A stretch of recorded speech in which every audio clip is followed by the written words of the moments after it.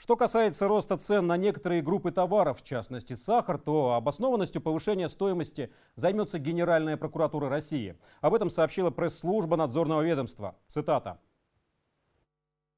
В рамках функционирующей в Генеральной прокуратуре экспертной группы по выявлению и пресечению деятельности картелей при межведомственной рабочей группе по противодействию преступлениям в сфере экономики получена информация об увеличении стоимости сахара в связи с приостановкой его отгрузки рядом хозяйствующих субъектов. В этой связи прокурорам 26 регионов, на территории которых осуществляет деятельность производители и поставщики данного товара, поручено проверить законность действий таких юридических лиц.